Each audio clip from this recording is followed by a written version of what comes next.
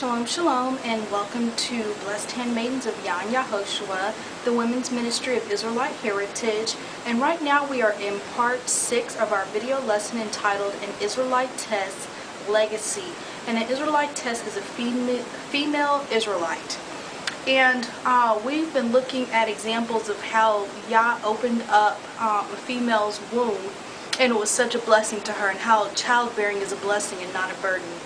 Okay, so turn with me to Luke chapter 1 and we're going to take a look at Elizabeth. That's Luke chapter 1.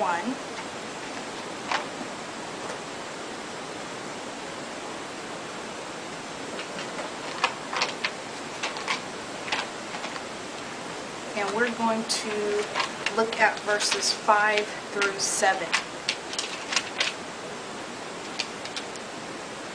And it says, There was, in the days of Herodes, the sovereign of Yehuda, a certain priest named Zachariah, of the division of Abia, and his wife was of the daughters of Aharon, and her name was Elizabeth. And they were both righteous before Yah, blamelessly walking in all the commands and righteousness of Yah. And they had no child because Elizabeth was barren, and both were advanced in years. Okay, drop down to verse 11. And we're going to read 11 through 13. He says, And a messenger of Yah appeared to him, standing on the right side of the altar of incense. And when Zacharias saw him, he was troubled, and fell, and fear fell upon him. But the messenger said, Do not be afraid, Zechariah, for your prayer has is heard. And your wife Elizabeth shall bear you a son, and you shall call his name uh, Yohanan or John. Uh, drop down to verse 24 and 25. And it says, And after those days his wife Elizabeth conceived, and she hid herself five months, saying, Yah has done this for me in the days when he looked upon me to take away my reproach among men.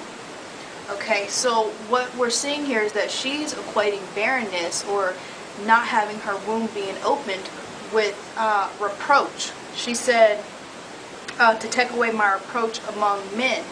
And a reproach, that is an expression or of rebuke or disapproval.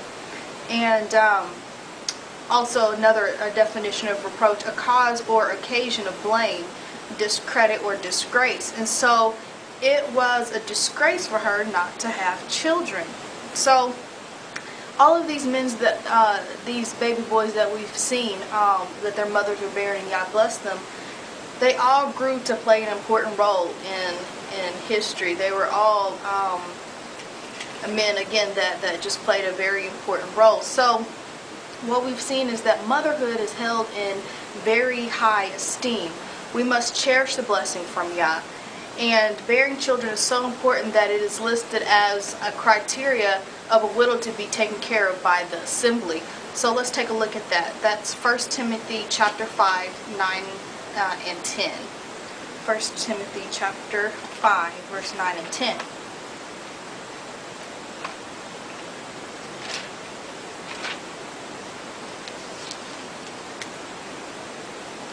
And it reads, Do not enroll a widow unless she is over 60 years of age, having been a wife of one man, well reported for good works, if she has brought up children, if she has lodged strangers, if she has washed the feet of the set apart ones, if she has assisted the afflicted, if she has closely followed every good work. So we see there uh, in the beginning, beginning of verse 10 it says, if she has brought up children. Drop down to 16. It says, if any believing man or woman has widows, let such assist them, and do not let the assembly be burdened in order to assist those who are truly widows. So they're not even considered uh, truly widows um, to be taken care of taken care of by the assembly unless one they brought up children. So that's a very honorable position. All women that's what we're created to do. I mean that's why we can reproduce.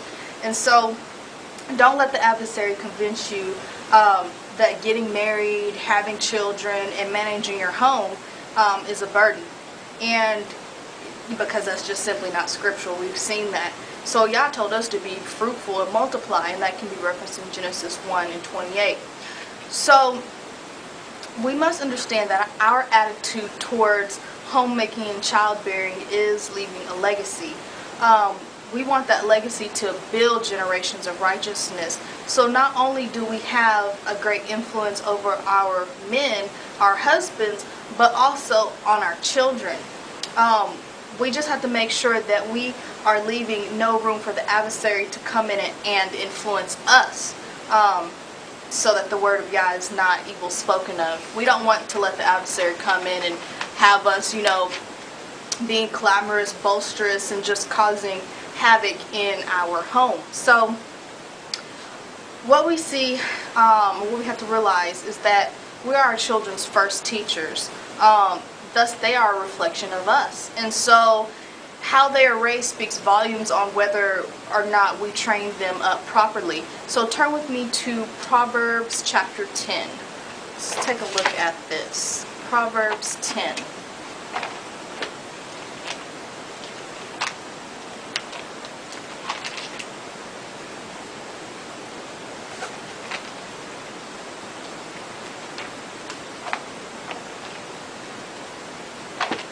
Okay, and look at verse 1. It says, Proverbs of Solomon, a wise son makes a father rejoice, but a foolish son is his mother's sorrow. Okay, so if you raise foolish children, that's a mother's sorrow. That's, again, that's a reflection of you. If your son turns out to be foolish, well then, you know, that leaves the question, okay, what did, what, how are you training up your child, you know? Um, turn with me to Proverbs 29. And let's look at verse 15. And it says, A rod and reproof give wisdom, but a child unrestrained brings shame to his mother. Again, uh, as their first teachers, that does require discipline. We have to discipline them and train them in the way that they should go, according to Scripture. But here it says that, you know, if the child is unrestrained, just being rebellious, that brings shame to the mother. Why? Because we are very influential in their lives. We train them, we set the example for them to follow. Turn with me to Proverbs 22 15. And it says, Folly is bound up in the heart of a child. The rod of discipline drives it far away from him. So again, we just see that we are to be disciplining our children according to Scripture because that trains them up um, in, in the way that they should go. So, um, set an excellent set an excellent example and let's leave a legacy of righteousness. That's the whole point of this legacy uh, this lesson is leaving uh, a legacy of righteousness. As israelite women israelitess we are to leave the highest standard of excellence for our family and for our children. So another word for legacy is inheritance. And turn with me to proverbs um, 13 Proverbs chapter 13. And let's look at verse 22.